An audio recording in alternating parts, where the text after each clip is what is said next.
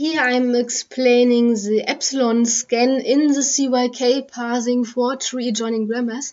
And I hope you have seen my previous video where I explain the lex scan because I will in that video I explain the setup of the whole video series. So um, and I don't want to um, bore people by explaining the same things in every video so here I'm just explaining the epsilon scan. The example looks very similar to the previous one.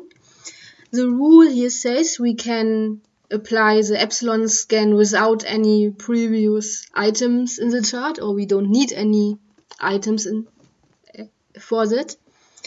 The rule in this the side condition for the rule says that we are supposed to have a tree at a specific node where the label is epsilon and the only one that where that applies to is in this case the alpha 2 tree.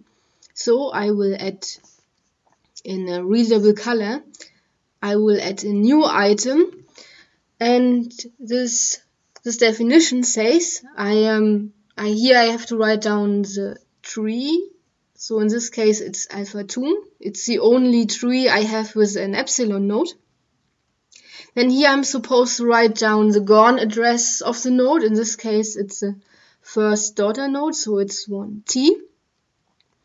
And I'm supposed to write down the span. And in this case, well, I, I actually, I don't know where this could be because there could be an epsilon before the first A or between the two or even after the end.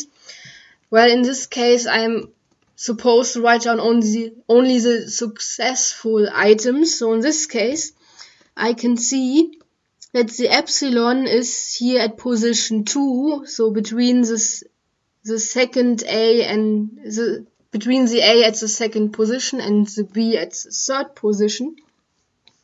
So I write down the span in this case from 2